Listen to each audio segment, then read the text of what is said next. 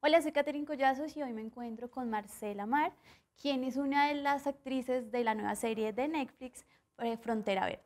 Hola Marcela, ¿cómo estás? Bien, muchas, Muchas gracias. por estar aquí con nosotros.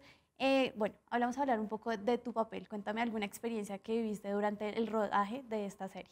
Bueno, Frontera Verde es una de las series más importantes en las que he podido participar, primero porque eh, pude trabajar de la mano de Ciro Guerra, de Jack Tulemont y de Laura Mora, que son tres grandes directores que admiro muchísimo de nuestro país, eh, porque es una historia mágica, es un thriller que encierra mucho suspenso, que encierra ingredientes sobrenaturales eh, propios del Amazonas y haber podido interpretar a una monja misionera eh, fanática como lo es la hermana Raquel, pues fue algo muy innovador en mi carrera.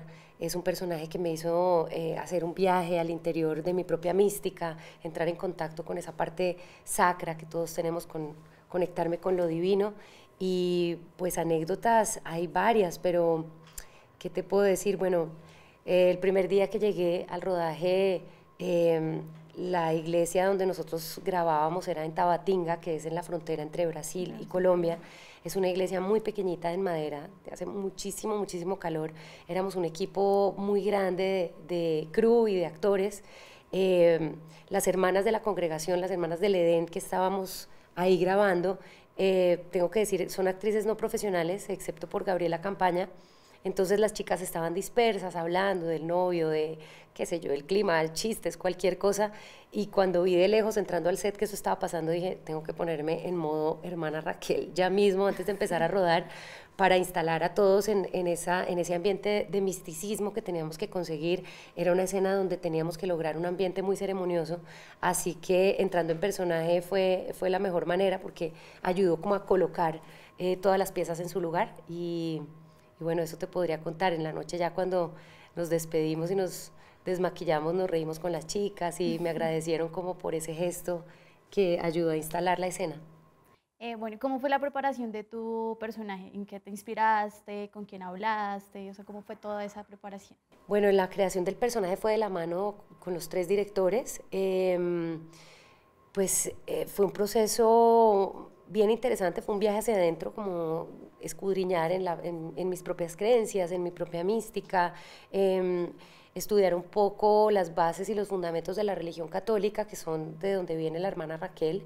Ella llegó a la selva a los 15 años con una tradición como monja católica, apostólica y romana, y al, al, involucrarse con la comunidad, al empaparse de lo que encierra la selva, pues ella va sumando creencias eh, místicas, esotéricas e indígenas. Entonces fue como, fue todo un descubrimiento y fue eh, ir armando a esta mujer y esta, esta cabeza que es Raquel de la mano de los directores.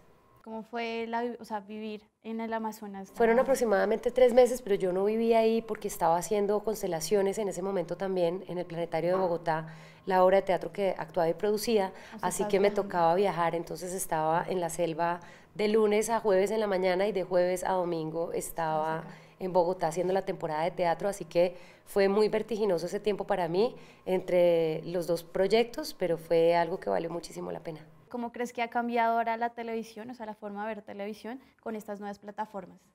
Ha cambiado muchísimo, creo que el mundo cambia cada vez más rápido y los medios audiovisuales así nos lo muestran permanentemente, todo está a la, a la velocidad de un clic, eh, todo está mucho más especializado y enfocado, eh, dirigido a cada consumidor eh, creo que el hecho de que Colombia se haya subido a este tren tan importante como es Netflix, que tengamos un vagón propio donde se están contando historias nuestras con talento local, donde se está desarrollando aquí eh, historias maravillosas para mostrarle al mundo, creo que es espectacular, creo que nos da una visibilidad en todo el mundo a través de la plataforma.